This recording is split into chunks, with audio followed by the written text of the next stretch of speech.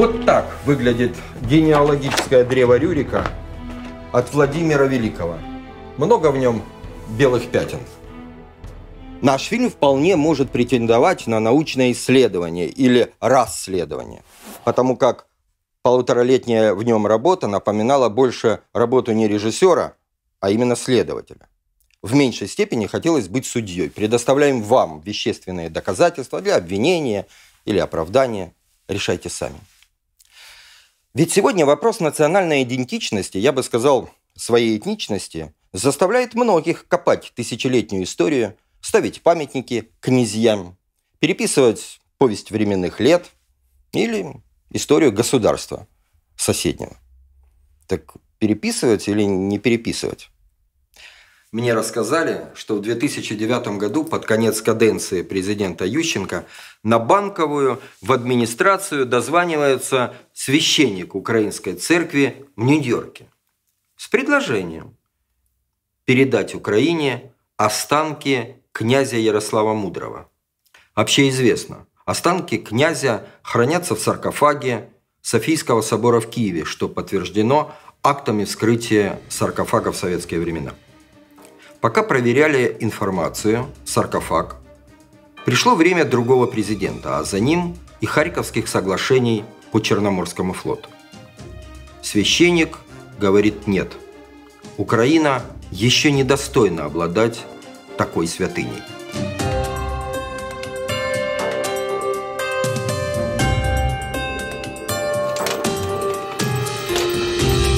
Ми всі були впевнені, що мощі Ярослава зберігаються саме тут. Коли 2009 року ми відкрили саркофаг, його там не знайшли. Це був повний шок для наукової громадськості і не тільки України. В 1936 году принимают решение открыть саркофаг мраморный, который стоит в Софийском соборе. Открыли. Там нашли груды перемешанных костей. Эти кости находились в Ленинграде на исследовании. У меня сомнений нет, что останки Ярослава вернули в 1940 году. Але нам треба було вирішити ще одну загадку. Коли саркофаг знову був скритий 1964 року спеціально створеною комісією. Досі немає одностайної думки, звідкиля власне походить династія Рюриковичів. У мене таке враження, що за цим криється якась таємниця.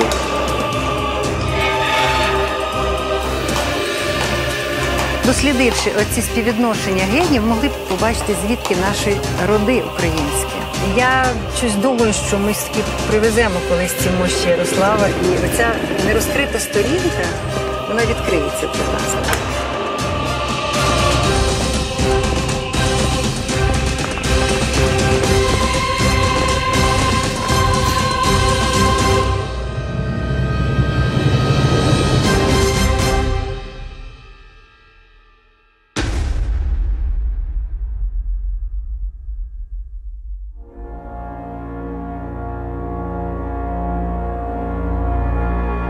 Любые попытки рассказать сейчас историю за тысячу лет упираются в нестыковки. Есть сторонники нормандской теории, возводящие историю Руси к варягам скандинавского происхождения. Есть другие, кто ищет корни государства у балтийских славян, вагров. Есть и третьи, вообще отрицающие все, что было известно ранее, мол, в уста летописцев вкладывались слова, которые были на то время идеологически верными. Посмотрите на мой краткий хронологический конспект описания жизни Ярослава Мудрого от столпов историографии. Вот Татищев, Карамзин, Костомаров, вот Грушевский и Гумилев, вот еще и еще. Все, что выделено красным, это не совпадение, то есть от каждого что-то свое. Выбирайте сами, по ком историю учить. Сказание Киевской Руси, кстати, как правильно, в Руси или на Руси, становится похоже больше на теорию без четких доказательств и с истлевшим прахом свидетелей тех событий. Часто и праха-то нет. выходит не быль, а пыль. Другое дело кровь. Мы все являемся детьми, внуками, правнуками, прапраправнуками. По крови человека, его генетическому коду можно проследить всю родословную. Откуда предки, кто родственники, из какой части света пришли. Но в фильме речь пойдет о государствообразующей династии. А у нас не то что костей самого Рюрика, но и Игоря, Святослава, Ольги, и великого князя Владимира, и его сыновей и дочерей, внуков и правнуков. Останков уже не найти. Разве что Ярослав. Ну давайте обо всем по порядку. Підтвердження того, що нашого князя немає, мене підводило у той ряд е, історичних е, практик, історичних фактів. Так, в принципі, ви не знайдете е, більшості останків українських гетьманів, які працювали на самовизначення. Ви їх не знайдете в Україні. Починаючи від Хмельницького, здавалося, та ось, ось воно поряд, Суботів, чи Мазепи, чи Петлюра. Де їх шукати? Чому ми не знаємо, де голова Юрія Долгорукова, наприклад? Точно так ми підходимо до Ярослава Мудрого.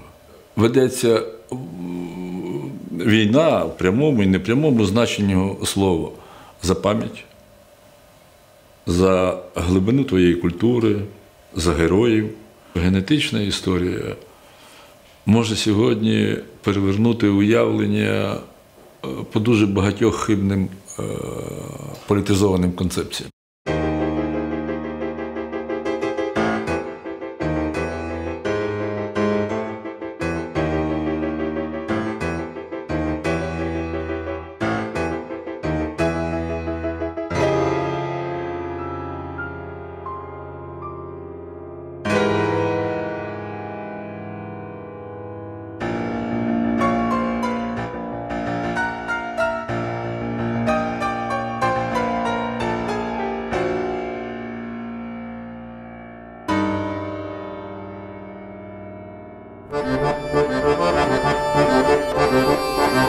Обязать Наркомпросу СССР принять меры к немедленному направлению на экспорт музейных ценностей. Обратить внимание на ряд вещей, оставленных при изъятии церковных ценностей в 1922 году.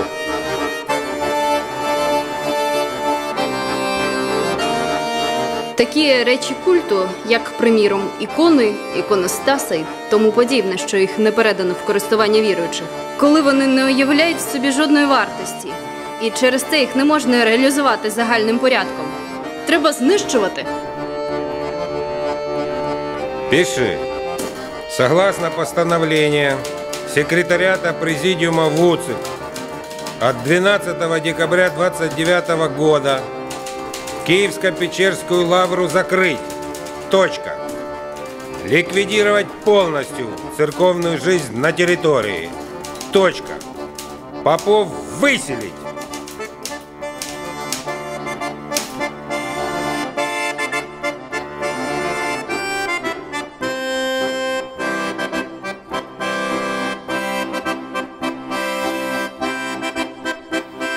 Можно назвать чудом то, что шеститонную ванну проконежского мрамора, гробницу Ярослава Мудрого не продали или не приспособили под огурцы. Чего не скажешь о чудотворных иконах и других ценностях. Вот опись собора на 1919 год. Тысячи один бесценный предмет, о коих только мечтать могли лучшие музеи мира. Осталось одно описание. В соответствии с директивой в ЦИК от 26 февраля 1922 года, а именно ее секретной части, где прямо э, рекомендовалось вскрытие могил императоров, там, выдающихся личностей с целью изъятия сокровищ. А в марте того же 1922 года Владимир Ильич Ленин наложил такую специальную резолюцию а, на документ, э, где было сказано о необходимости создания за рубежом синдиката для продажи изъятых ценностей разграбление гробниц приобрело катастрофические масштабы. Лев Давыдович Троцкий называл то, что находили в этом случае, называл открытым словом «добыча». Эта добыча уходила для поддержки диктатуры пролетариата. В 1930 году Подобное мародерство стало вызывать возмущение, огромное возмущение в различных слоях населения. И это было оформлено в виде специальных научных комиссий, которые вскрывали могилы якобы с целью исторических, антропологических или иных исследований. Хотя в данном случае это было прикрытие. Мы знаем, как скрывали гробницы в 1932 году, в 1934 году. Можно привести очень много свидетельств на эту тему. В 1934 году были ликвидированы службы в Софийском соборе города Киева. Более того, собор подвергся жесточайшему разграблению. Единственное, что осталось нетронутым, из того, что разграбили, это шеститонный саркофаг, где только одна крышка весила две тонны. После 1929 года в Киевской Софии церковных служб не было. Есть воспоминания, что собор собирались снести, как Михайловский Златоверхий, сделав большую площадь с выходом к Днепру. София уцелела, Михайловский нет. Да вы только полюбуйтесь на эти проекты. Лучшие декорации к фильму знаменитого романа киевлянина Михаила Булгакова трудно было бы и представить. Такой грезилась украинская столица с автором журнала «Социалистичный Киев». Конечно, не с Владимиром Красное Солнышко, родом из Любича на постаменте, выше облаков, а с другим Владимиром, Калмыком –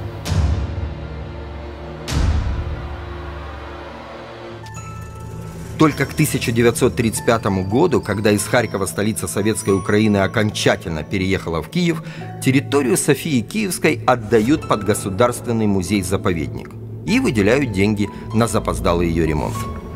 Димам, уцелевшему саркофагу, находят лучшее место, потому как стало не просто погребением, а важной церковной реликвией. Кто в нем только не лежал – 1936 году принимают решение открыть саркофаг мраморный, который стоит в Софийском соборе. Открыли. Там нашли груду перемешанных костей. Никакой одежды, никаких знаков различия, ничего не было. И это свидетельствовало о том, что крышку уже когда-то открывали, и там уже кто-то побывал. Эти кости изъяли, и из них сложили два скелета, мужской и женский. Их положили обратно и крышку закрыли.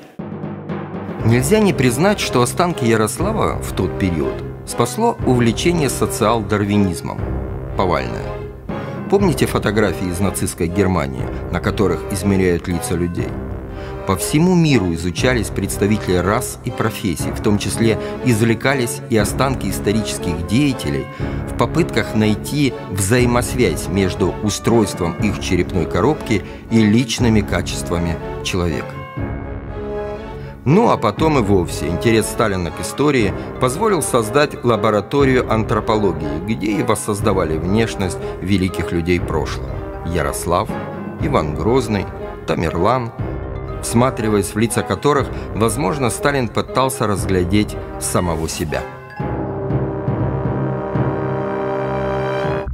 В 1939 году из Ленинграда в Киев приезжает известный антрополог Вольф Гинзбург, изымает оба скелета и увозит в Ленинград.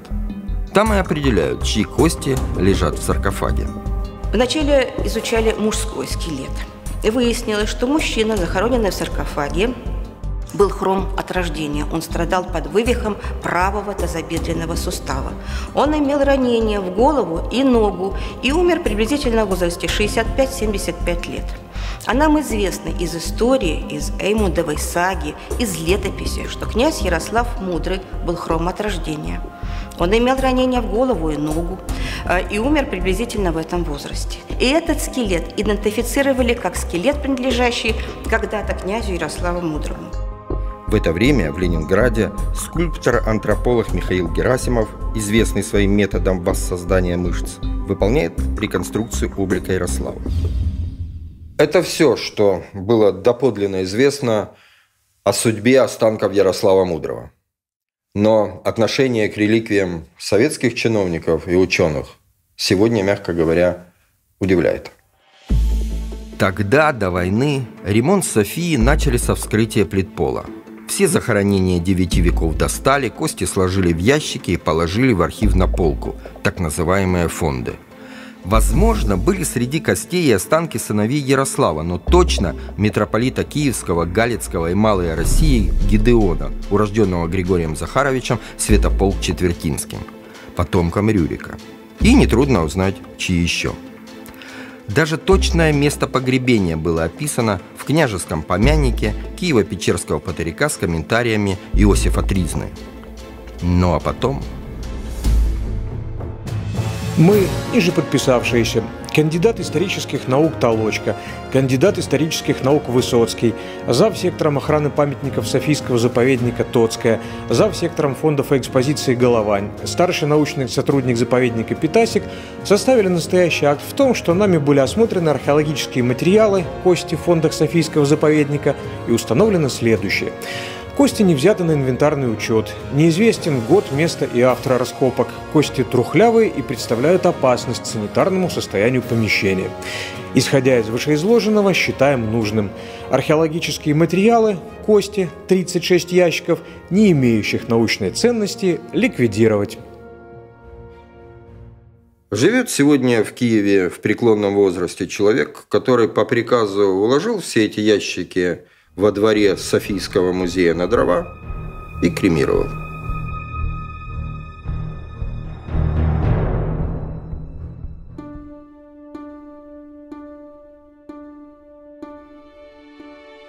Когда у открывших саркофаг в 2009 году прошел шок, возник вопрос, где же искать Ярослава Мудрого. Для поиска останков киевского князя была создана рабочая группа которую пригласили опытних і знаючих тему людей. Треба було перевірити, чи вони взагалі повернулися, і чи вони були перед війною тут, в заповіднику, чи вони залишилися в Росії. Це треба було перевірити на підставі документів, тому що на той час у нас був відомий акт, як передавали до Ленінграду, але ще на той час ми не тримали в руках документ, який би засвідчував, що ці речі повернулися в тому ж выгляде, в якому вони були передані. Такой документ нашли, вот он. Останки вернули в 1940 году, но, конечно, нет уже в живых тех, кто видел их возвращение. Есть только этот акт. У меня сомнений нет, что останки Ярослава вернули в 1940 году. Их положили в ящик, так же, как положили в ящик и второй скелет, который с ним там находился в гробнице. Было два ящика – и вот один из этих ящиков с останками Ярослава Мудрого позже то и исчез. А остался в гробнице тот ящик, в котором лежали останки похороненной с ним женщины. Друга версія була була пов'язана з подіями Другої світової війни. Нам було відомо, що з території Софійського заповідника е, німецька окупаційна е, влада вивезла значну кількість музейних цінностей. Те відбулося в 1943 році. Треба було перевірити, чи не були вивезені е, ці реліквії разом з тими музейними речами, які вивозили е, нацисти з окупованого Києва. Не исключили и третью версию. Останки Ярослава пропали в наши дни. Но сторожилы среди работников заповедника клятвенно заверяют, что гробница с 60-х годов не вскрывалась, и нет повода им не верить. Да и крышку тихо не поднимешь.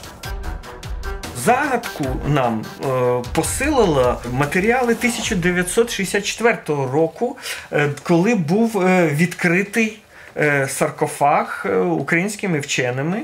В моїх руках е, перебуває оригінал акту, який зберігається в архіві Національного заповідника Софія Київського.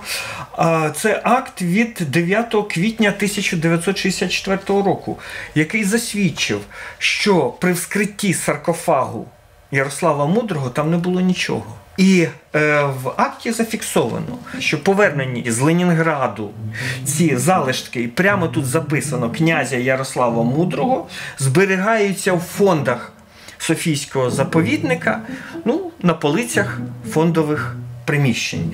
І вони поклали ці е, рештки назад в саркофаг. В акті пишуть про е, одні рештки, і це найбільша загадка. Е, тому що в е, актах, які були довоєнні про відправку і повернення, йдуться про е, рештки і Ярослава, і його е, дружини Інгігерди. Есть стереотип восприятия истории, который, увы, присущ самим историкам. Скажут со стороны, можно было бесконечно проверять документы, бумаги за подписью тех, которых уже нет в живых. Но мы же видели отношение к каким-то там останкам. Станем ли грешить на культуру отдельного человека? Нет, таковой была система. Но кому оно так важно, где лежат эти бесполезные кости? История написана, утверждена, весь мир ее знает и принимает. Короче говоря, где и была еще надежда найти упоминание об останках Ярослава, это в архиве Розенберга. Не могли педантичные немцы, если вывозили, не записать.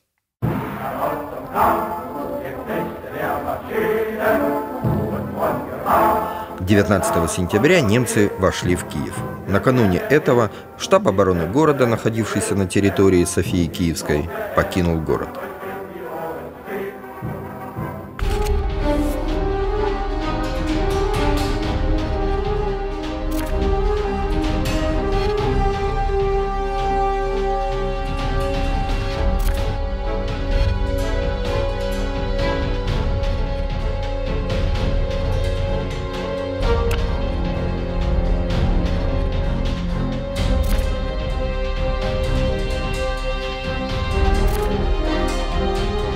Весь период оккупации Софийский музей работал. Продавали билеты, готовили научные статьи. Вот сам Альфред Розенберг, главный от немцев на оккупированных восточных территориях, в том числе по изъятию ценностей, с экскурсией высматривает Софию. Культура и музеи Киева были подчинены лично ему. Работая над сценарием фильма, я нашел много интересных документов в архиве Розенберга. Там есть и такие воспоминания от людей с большим опытом. Драгоценные предметы были большевиками забраны еще в 1921-22 годах под видом помощи голодающим по Волжье. Второе изъятие имело место в 1928-31 годах – когда большевики самое дорогостоящее продавали в Англию и Америку под видом ускорения индустриализации страны. Третье изъятие было в июле-августе 1941 года, когда все лучшее, что было в то время в Лавре, эвакуировали на баржах по направлению в Днепропетровск. Оставшееся представляет собой печальный остаток огромных богатств. Но все же, среди этих остатков можно еще найти немало интересного. Как в отношении художественном, так и в отношении культурно-историческом и бытовом. Конечно, это касалось не только Лавры. Было что взять и в Софии. Но об останках Ярослава ничего стали копать иммигрантские связи.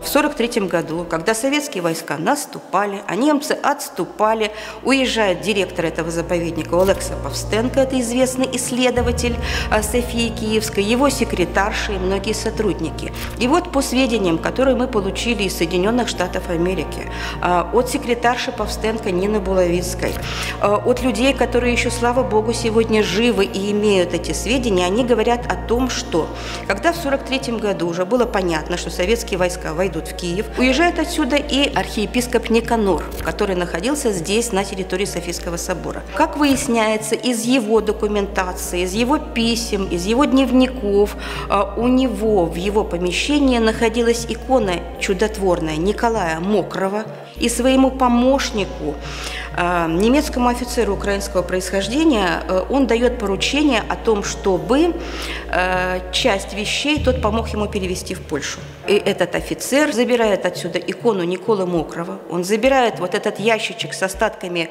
э, Ярослава Мудрого, перевез их в Польшу, где он должен был передать их архиепископу Никанору. Но Никанор с э, эшелоном людей, которые эвакуировались, уже уехал из Польши.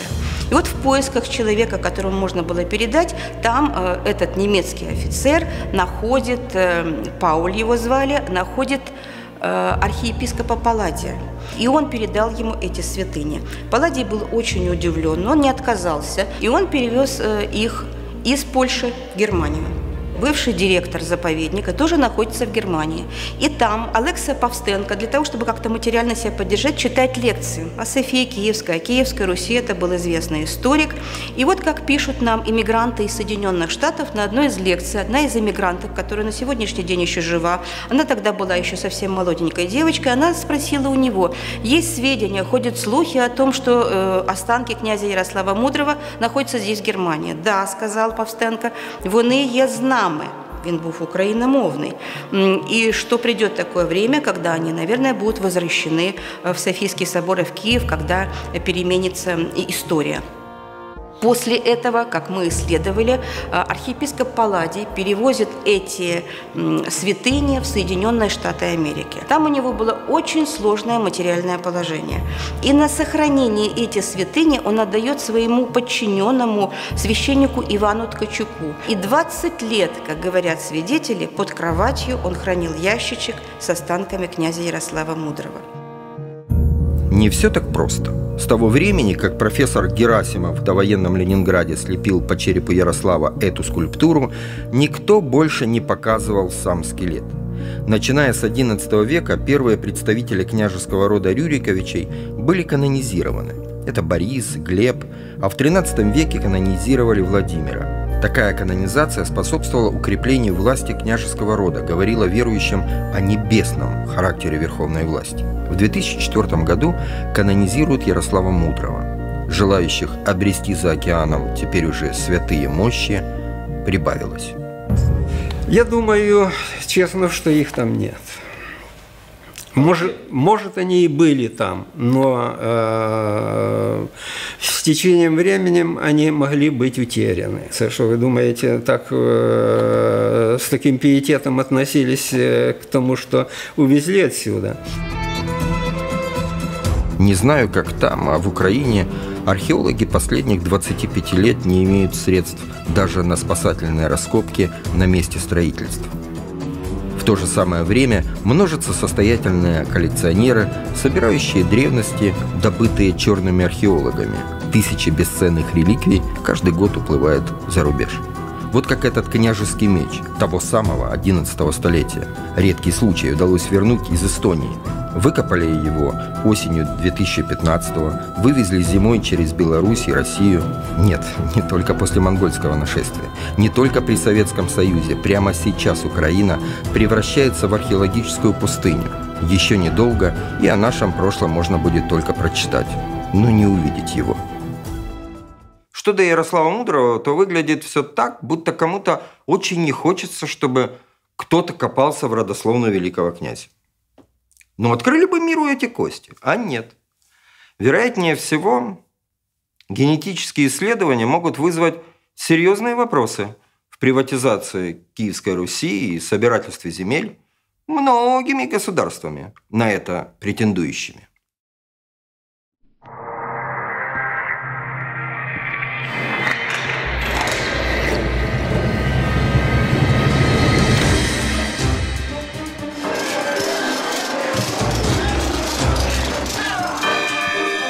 работа археолога интересный, но довольно непростой труд. Возвращаясь к находкам, каждый раз мы видим их абсолютно в новом свете.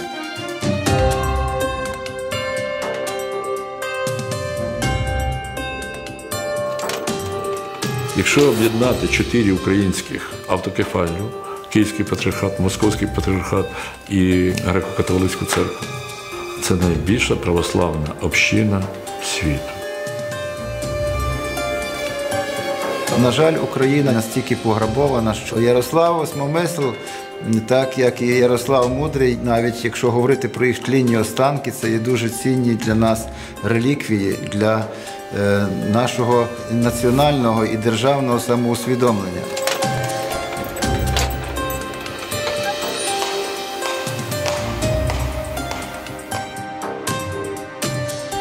Эти князья, какие бы они ни были, они э, князья этой земли, этой страны, и нужно учить историю и помнить.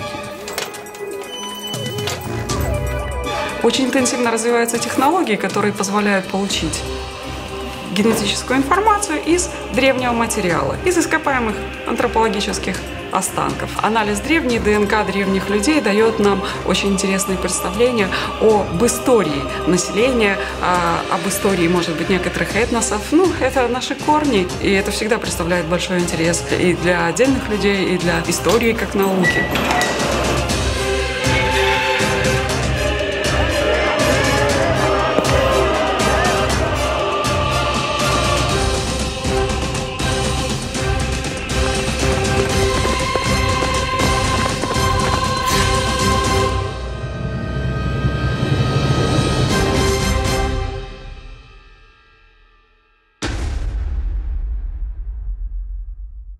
Переписывать или не переписывать историю решим потом.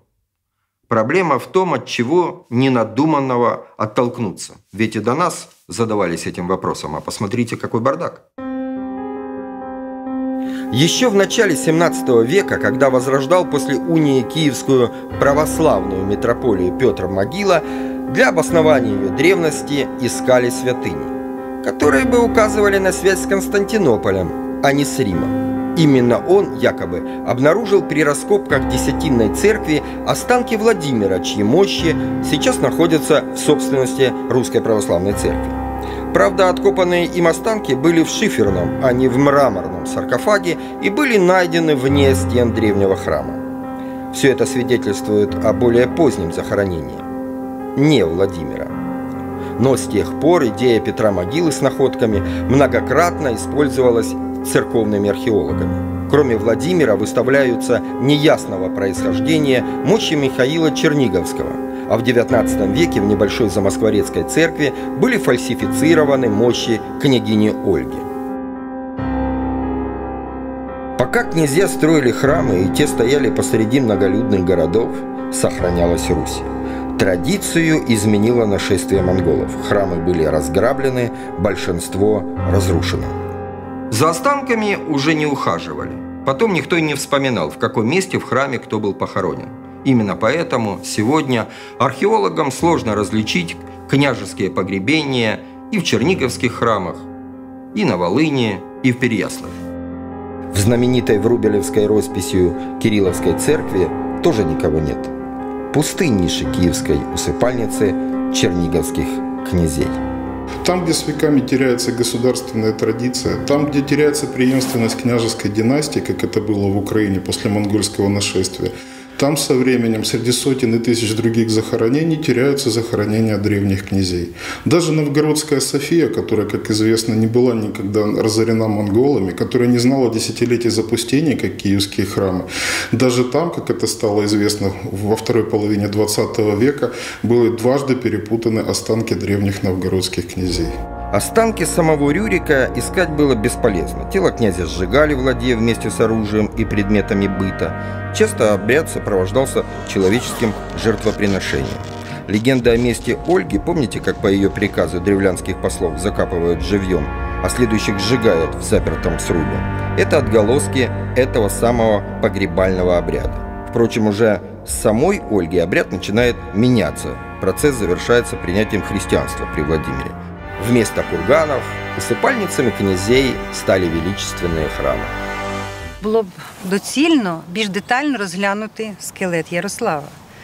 На предмет, як би він виглядав, ми знали добре вже на той час, що існують комп'ютерні технології відтворення обличчя. Ми хотіли дізнатися чим хворіла людина, чи підтверджуються ті хвороби, які були описані в літописах, як він виглядав статурою своєю, бо ми знаємо, що він був поранений і що з дитинства він кульгав, хотіли це теж підтвердити, що він полюбляв в житті, від чого помер. Сьогодні наука дає дуже багато відповідей на такі питання. Е, окрім цього, ми хотіли прослідкувати і дерево Рюріковичів, знаючи, де поховані нащадки, пізніші нащадки Рюріковичі, взявши ген і виділивши ген із е, скелета Ярослава Мудрого. Це для науки це е, дуже цінне таке дослідження планувалося.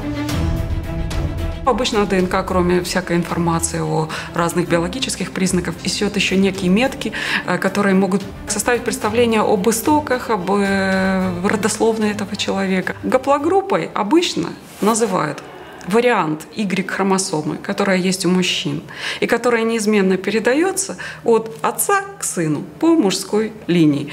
Эти гаплогруппы обозначаются обычно латинскими буквами А, Б, С и так далее. Они имеют свое время возникновения, географическую привязку, и по принадлежности к этой гаплогруппе можно а, определить, откуда происходят, ну, по меньшей мере, какие-то предки данного человека по мужской линии. Гаплогруппы, Y-хромосомы, очень э, хорошо и синхронно распространяются вместе с фамилией. То есть можно сказать, что это метка рода.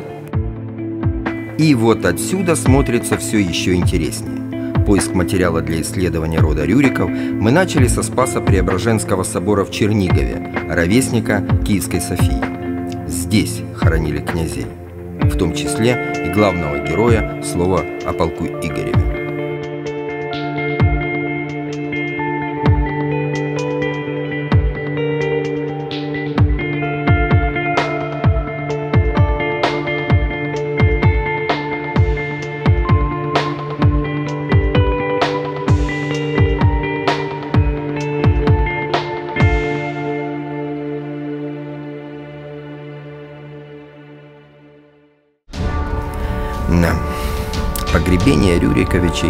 Вечным покоем не назовешь.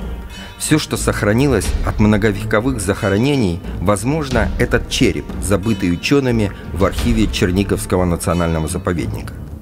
К своей истории так не относятся. В 1967 году при прокладке теплотрассы был обнаружен саркофаг. Вот на этом месте.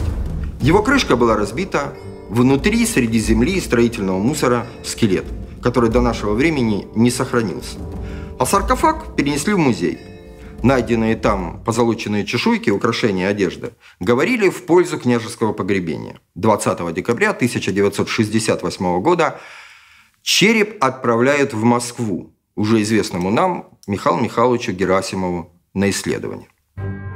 Посылка вернулась отправителям спустя три года. Видел ли этот череп великий советский ученый, скончавшийся в 70-м году? И тот ли череп вернули? Княжеские это останки или более позднее захоронение в БУ саркофаге, что было в практике того времени? В ответах историки, которым есть еще до этого дела, далеко не единодушны. А широким массам про находку просто неведомо. Археологические исследования, проводившиеся в 20 веке, засвидетельствовали, что нетревоженное захоронение черниговских князей не сохранилось. Все они были разрушены. Разрушение храмов черниговских происходит, судя по всему, в 15-16 веке.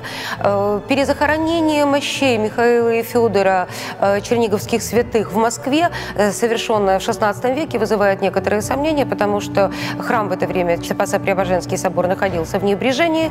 И сохранилась ли традиция почитания места погребения святых, у нас вызывает большие сомнения.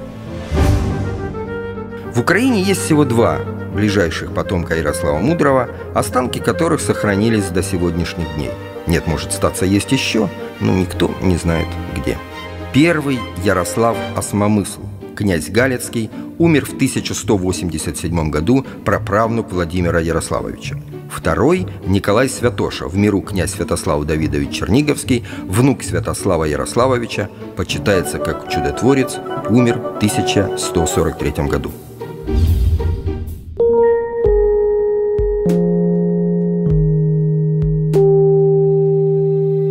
Мы прогуливаемся по городской улице в одной из важнейших православных святынь, основанной в 1051 году при Ярославе, крещенном Георгием. Именно здесь летописец Нестор корпел для нас над повестью временных лет. После смерти Ярослава сын князь Святослав подарил монастырю плато над пещерами, где были построены позднее эти храмы. А вот так называемые Варяжские пещеры – тысячелетнее послание потомкам. А здесь мироточивые черепа, Мира – святые слезы от всех болезней. Про особенности не к нам, просто смотрите, зачем комментарии. А вот здесь кости неизвестных мучеников, сбереженные от пожаров Батыя, ранних и поздних безбожников. В ближних пещерах лежит преподобный Илья Муромец, живший в XII веке прототип былинного богатыря – З'езжа нетленные мощи князя Николая Святоши, потерявшего власть в междоусобице, пожелавшего принять монашеский удел, и, придя сюда, наложил на себя обет безмолвия и после не поддался на уговоры братьев вернуться к делам мирским. Да. Сейчас бы у нас так. К сожалению, у нас нет истории. Истинной истории нет. Ни государственной, ни церковной для нас она не очень-то и нужна, с одной стороны. Возвращаться уже сегодня к князьям, это настолько интересно, и э, есть такое слово «глузд», есть ли в этом? Тысячу лет они здесь лежат, разобранные слугами Господа на части для передачи благодатных сил и причащения многих. Что там осталось под покрывалом, Бог знает. Анализ ДНК святого одно дело был бы беспрецедентен, другое, по причине церковных правил, невозможно взять материал для анализа так, чтобы хоть в какой-то мере обеспечить чистоту исследования. Хранились мощи в Святой Софии в 1824 году при митрополите Евгении Болховитинове, поместив все эти святыни на два ковчега, выносили на поклонение мирянам. Пишут, останки омывали, а воду разбирали прихожане на нужды от разных болезней. Вот прижизненное издание митрополита. Посмотрите. 90 святых хранилось в Софии, из них 46 я нашел в Лаврских пещерах. Есть здесь и Святоша, и Муромец. Где они теперь? Ярослав Мудрит – это история церкви и государственности. Каждый может оценивать ее как хочет, но она была – вернуть святыню обязательно нужно.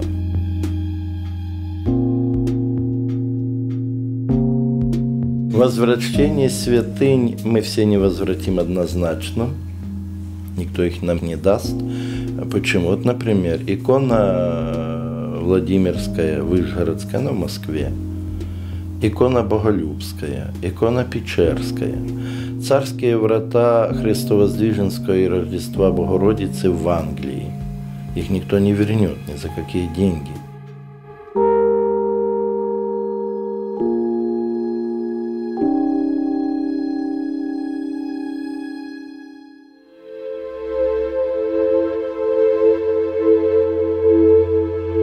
За Ярославом Осмомыслом мы отправились на запад Украины. Крылос – это сегодня село в 100 километрах за Львовом. В XII веке здесь был древний Галич, столица одного из княжеств Киевской Руси. После смерти Ярослава Мудрого эти земли выделились как отдельная территория, а позднее стали Галицко-Волынской державой. Ярослав Осмомысл княжил тут 35 лет. Що Крилос є центром Галича, не було відомо. Ярослав Пастернак, один з перших археологів таких професійних, 25 липня 1936 року виявив фундамент Успенського собору, про, про який ну, ніхто до цього часу не знав. І от е, вже в 36-му році він зачепив е, саркофаг е, з похованням. Ученых не было никаких сомнений. В летописях говорится только об одном захоронении в соборе. Находка была сенсационной, но поработать над ней как следует не позволило предвоенное время. У меня в руках издание 1937 года, посвященное Ярославу Осмомыслу. Жизнеописание, упоминание в слове о полку Игореве, как умер, как захоронение нашел Пастернак. Издано в Варшаве, ну так 1937 год же. Отвлеку внимание на эти строки. В 1940 році мене 100 років від появи книжки, яка зробила нас народом, бо в 1840 році появився славний кобзар Тараса Шевченка. О как! Над кістяком е, Ярослава е, Осмомисла почали працювати після його другого віднайдення цього кістяка. Бо виявляється, що Ярослав Пастернак, коли е, в 36-38 роках працював, досліджуючи Успенський собор, в передвоєнний період, в 41-му році, коли він був змушений виїхати на захід, він е, ці кістки, як е, найбільшу реліквію, перезахоронив е, у храмі святого Юра у Львові. І аж у 90-му році минулого століття, власне, в час, коли Україна здобула незалежність, нам пощастило, досліджуючи крипту собору святого Юра, віднайти невідомі нікому таку скриньку з фанери, з дикти, е, в якій е, був кістяк в, е, в газеті і в такій книжці сторінок з якоїсь граматики. Загорнутий кістяк. При ньому була така пляшечка. В цій пляшечці була записочка. Ми відкрили ту пляшечку, розкрили записочку, а там писало: під словом чести науковця присягаю, що ці кістки я виявив в Успенському соборі давнього Галича, і це є кістяк Ярослава Осмомисла.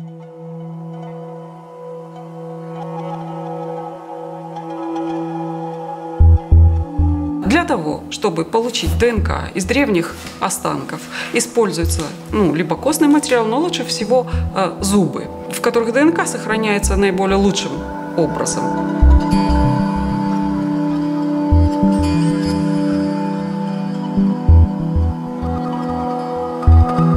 Анализ древней ДНК, конечно же, не делается на таком потоке, как анализ для современных людей. Это весьма эксклюзивные вещи, которые делают несколько крупных лабораторий в мире. Есть ряд э, исследований, которые проведены э, среди потомков рода Ярослава Мудрого. Них получены четкие варианты, четкие гаплогруппы Y-хромосомы. Они относятся к нескольким типам, среди которых преобладает N1C, скандинавский вариант.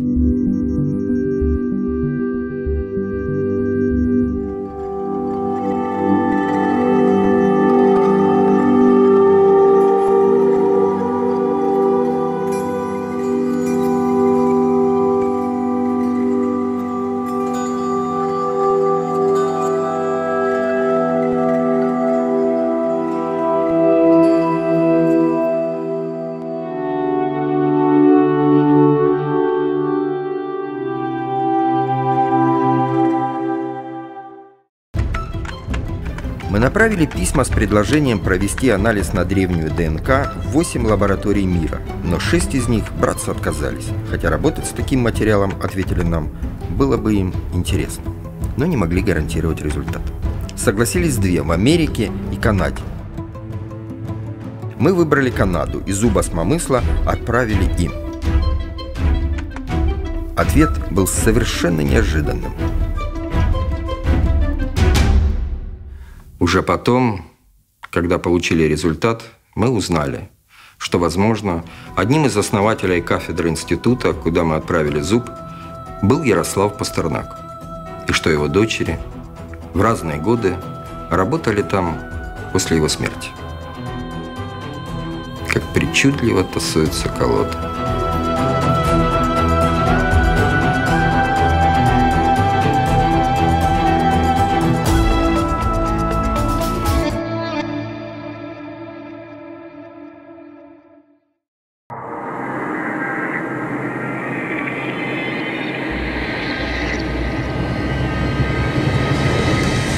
Иногда на прошлое смотрят как на какой-то набор артефактов музеями. Когда эти кости являются предметом досужего любопытства, как на них смотрят, вот тогда вот эти кости перевозятся, да, как кости фараонов. Прежде всего важно, чтобы кости наших первых князей покоились там, где они хотели лежать, в родной земле.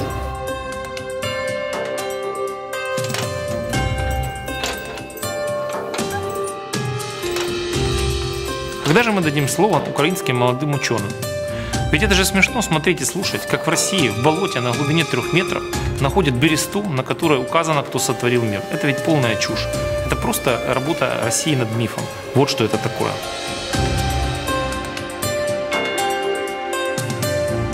Я все розпитував моє покоління, ті, що виходили десь під час Другої світової війни. І ніхто власне не знав, що випадково натрапив на Славка Вишневського. І, і він тоді давай розповідати, що як, яка історія з, мощ, з останками Ярослава Мудрого була. Як вивезли.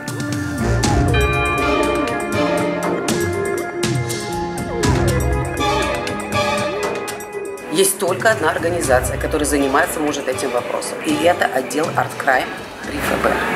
А только она может расследовать этот вопрос и вернуть останки в Украину. И на сегодняшний день мы только-только начинаем проводить такие исследования, только-только начинаем вот напрямую прикасаться к нашей истории. Только сейчас такие исследования стали возможны, только сейчас до них дошел интерес, и мы теперь имеем совершенно потрясающий сенсационный результат.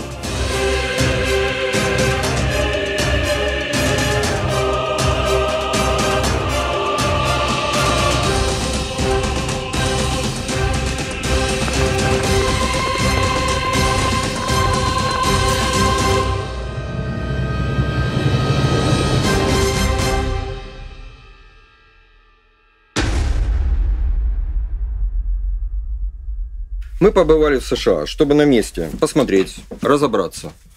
Ну, понятно, чтобы закончить, в конце концов, наше расследование.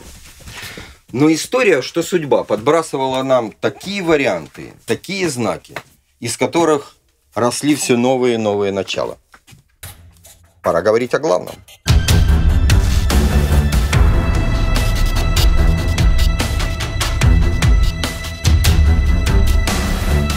Один емігрант згадує про те, що коли ці кістки повернулися вже із Ленінграда, начальство, так би мовити, абстрактно наказало сторожу. Сторожу заповідника, щоб він взяв просто ці кістки і закопав у дворі. А він виявився національно свідомим і недурним, і розумів, розумів значення, скажімо, поховань визначних історичних осіб. І він не виконав це доручення. а На свій страх і ризик взяв і заховав ці коробки. І нікому не признався. А тільки коли вже під час окупації, коли сюди повернулася Українська автокефальна церква, то він віддав це Никанору. Тобто спроби знищити їх були раніше. І в мене таке враження, що це була от, в 64-му році якби продовження тієї історії, друга спроба, щоб заховати кінців воду. Нет, дорогой профессор.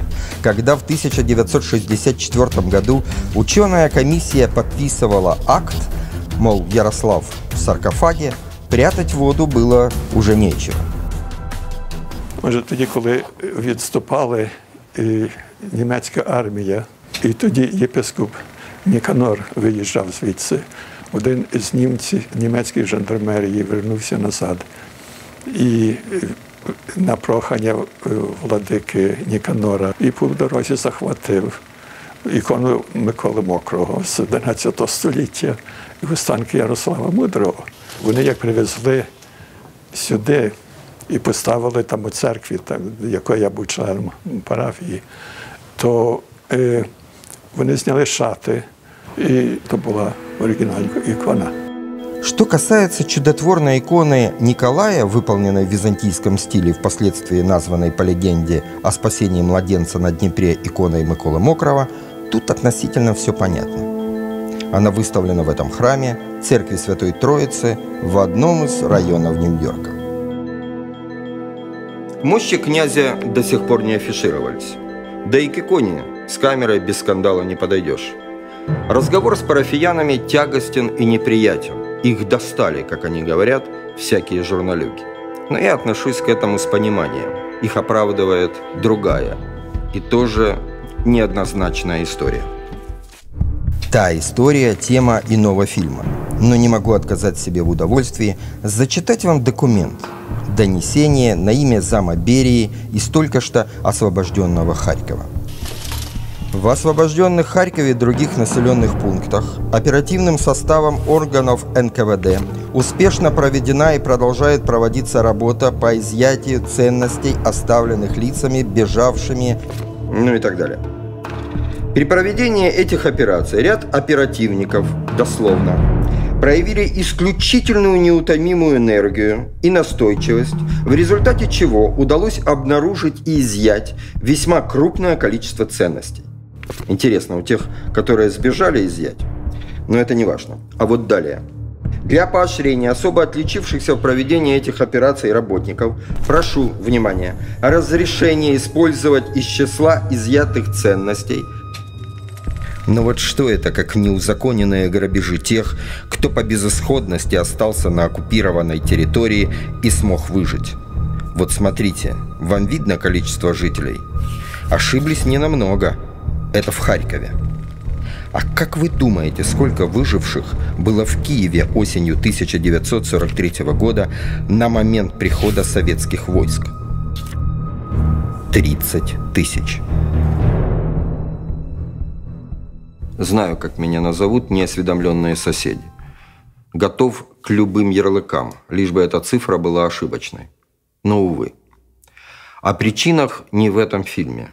Разные есть причины.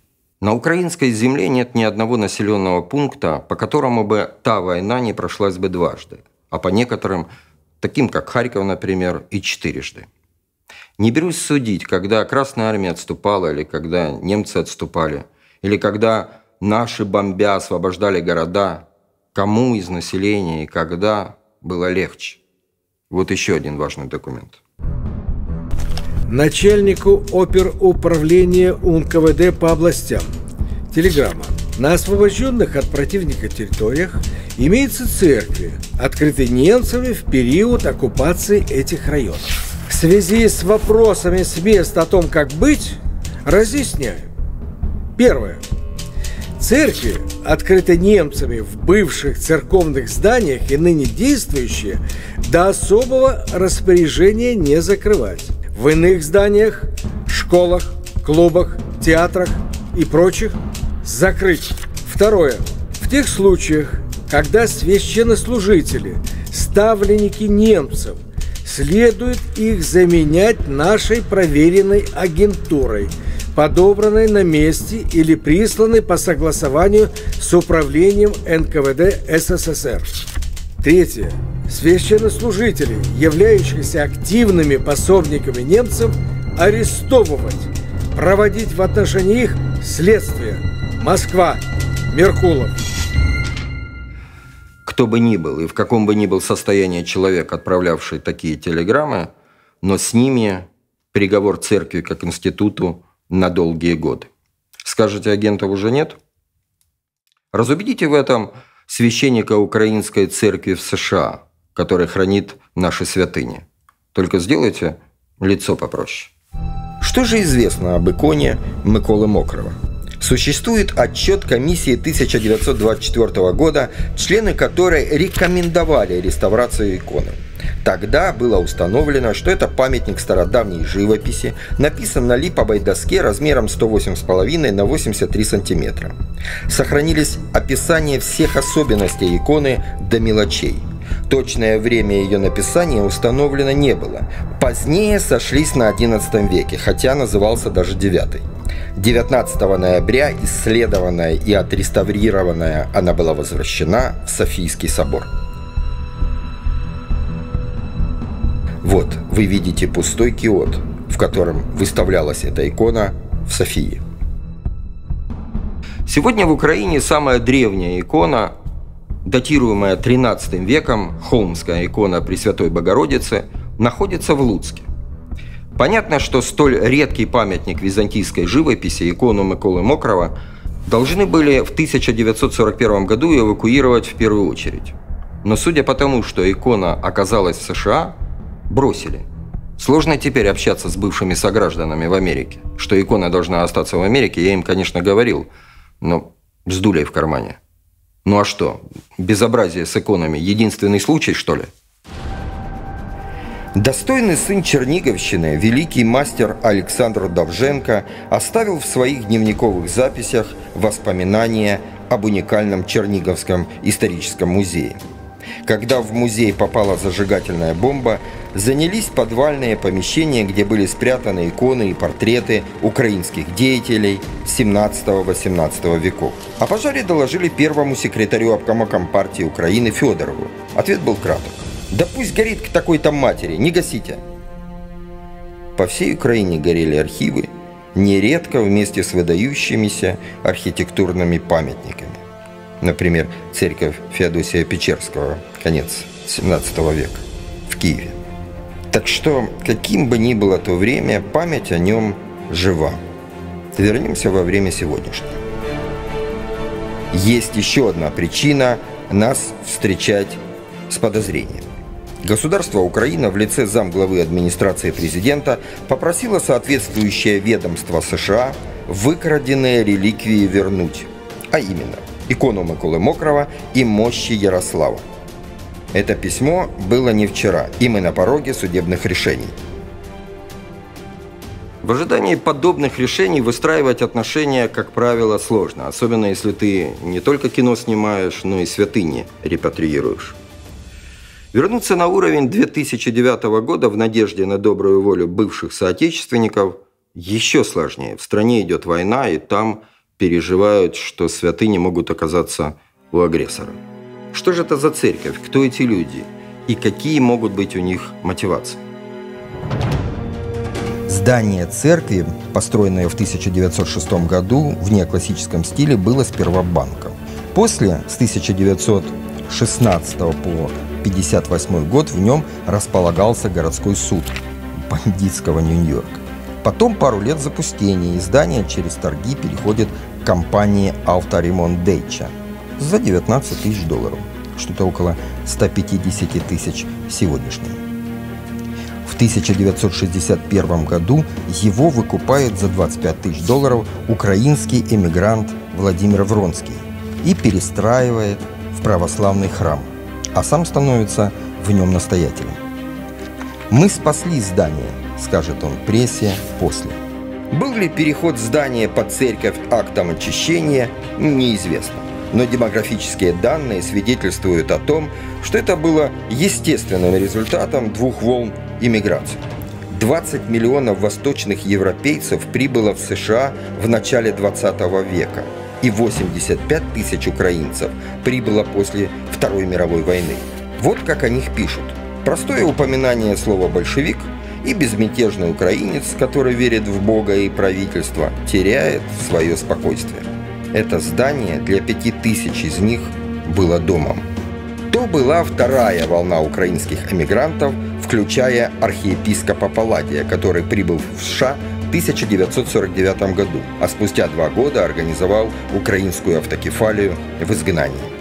Все члены церкви состоят из людей, сбежавших из Советского Союза в войну и начавших новую жизнь в Америке, пишут в газетах.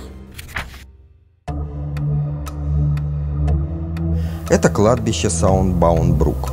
Здесь, недалеко от Нью-Йорка, патриарх украинской церкви Мстислав выкупил землю для своей паствы, и сам в ней покоится с миром.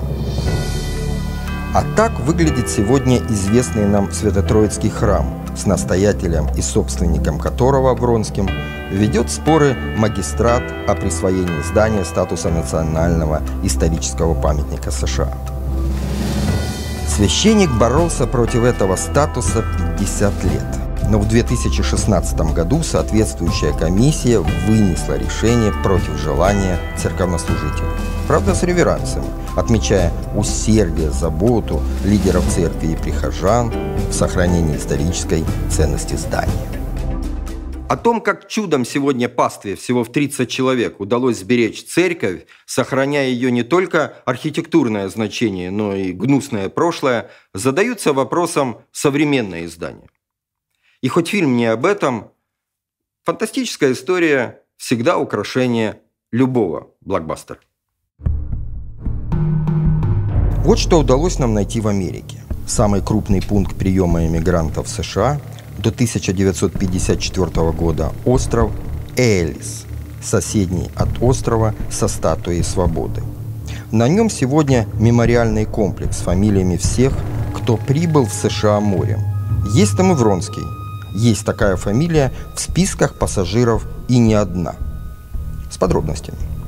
Есть и такое – Владимир Вронский был президентом и директором фонда Дрейфуса. Он вступил в Dreyfus Corporation в 1961 году в качестве младшего аналитика ценных бумаг. За время своей карьеры он приобрел опыт в 80% отраслей промышленности, в том числе авиа и автомобилестроения, а также в банковском деле, строительных материалах, химических веществах, страховании, в лесной промышленности, в коммунальных услугах и грузоперевозке. Вы представьте, какие были обороты. Как тут не подумать о судном дне? Все как у нас. Но есть еще кое-что. Вронский. Вронские. Вронские –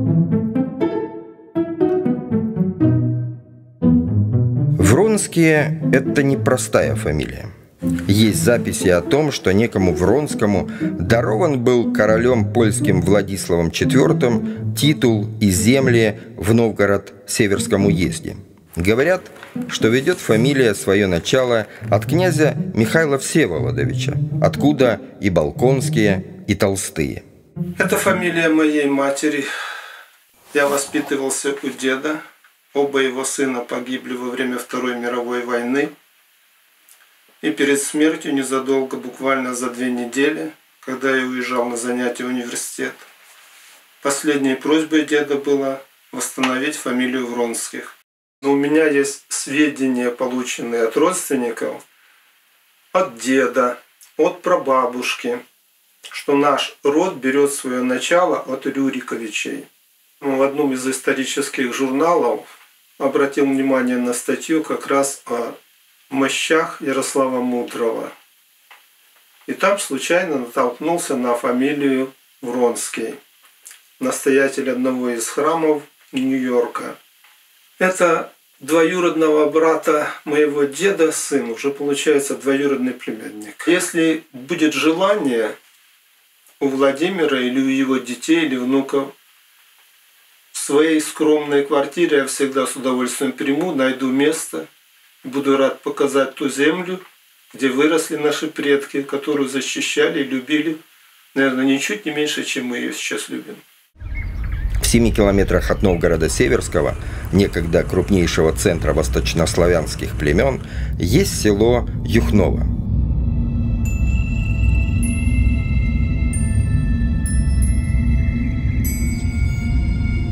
Отсюда берет начало дворянский род Вронских были в нем и священники. В этих толстенных книгах сохранились записи о многих Вронских, но на родине остался только один, и тоже Владимир.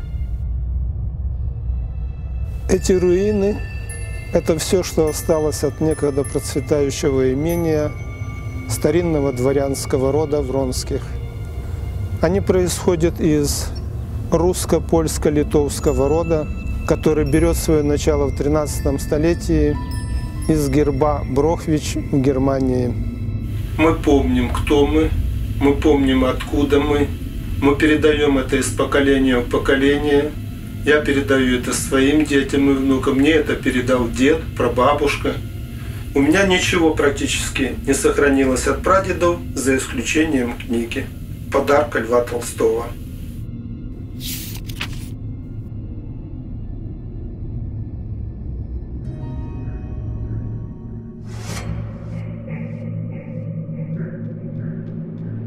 О династии нашего американского священника тут речь или нет, как проверишь? Исповедь у нас не получилась. Захотел бы пастор быть потомком Рюрика, рассказанному не удивился бы.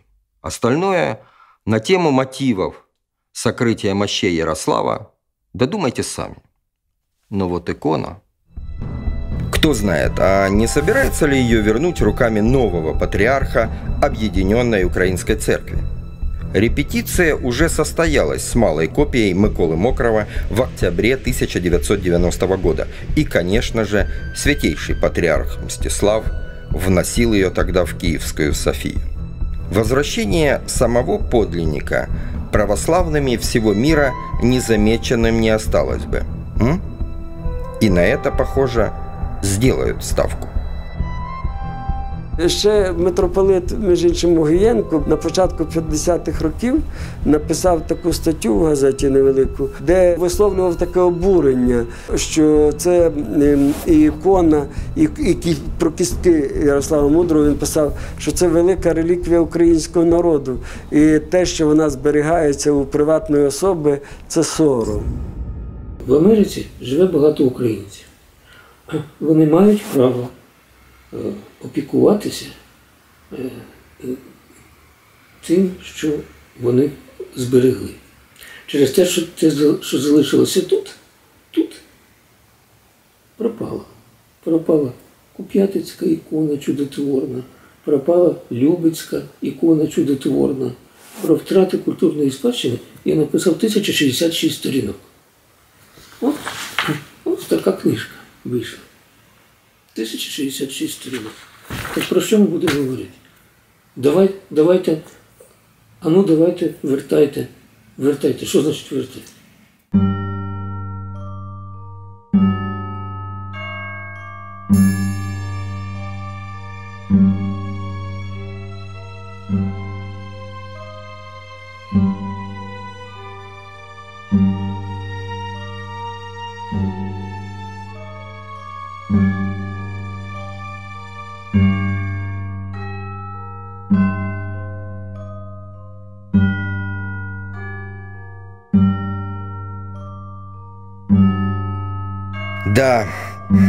Уже Киев.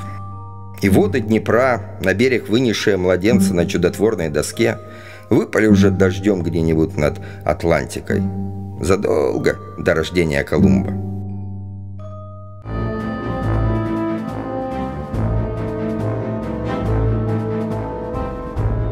Икона, мощи, все вывести, что не вывезли, сжечь, что увезли, припрятать, не вернуть – вот уже тысячу лет, как осветили Киевскую Софию, а вся эта история... Как это по-нашему все.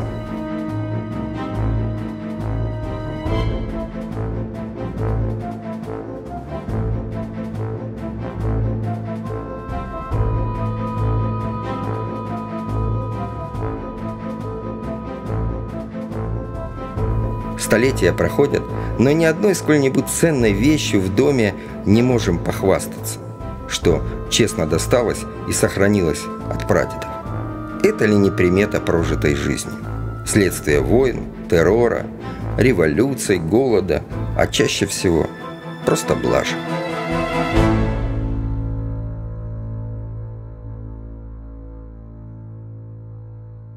Длинный рассказ об иконе Миколы Мокрого важен, чтобы приоткрыть тайну останков Ярослава Мудрого, пропавших вместе с ней из Киевской Софии.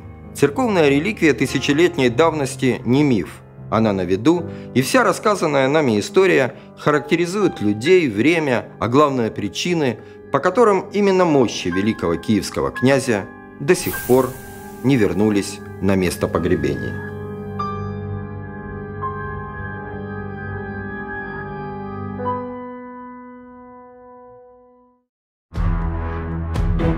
Имея на руках результат ДНК-анализа Ярослава Осмомысла, можно было уже наделать много шума. По крови-то не с севера, а с юго-запада наследный князь Руси. Оттуда, откуда к нам пришло христианство. Балканы. Может, именно поэтому первое в Киеве и во всей русской иерархии начальствовавшее духовенство было без сомнения греческое. В разное время епископами были известные представители рода Рюрика – Турово-Пинские, Святополк, Четвертинские. С момента крещения Руси до взятия Константинополя крестоносцами в XIII веке, кроме трех, все наши митрополиты – греки. Вот список из авторитетного источника. Считаете это маловероятным? Не нравятся греки? Изучили свою ДНК? У князя Ярослава II древняя и вовсе не уникальная для населения Украины гаплогруппа. Но чтобы не было досужих разговоров о неверных женах, нужна ДНК первого Ярослава, мудрого. В Украине уже есть, а будет больше молодых ученых, докторов наук, которые, системно исследуя наш генофонд, определят происхождение и место украинцев в европейском пространстве.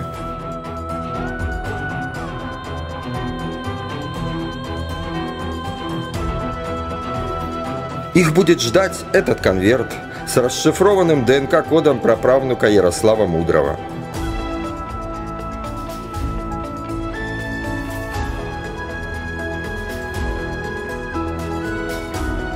И будет другое кино. Не о потерянных связях, а о божественном возвращении нам старозаветных святынь. А нас, безалаберных, к великому наследию.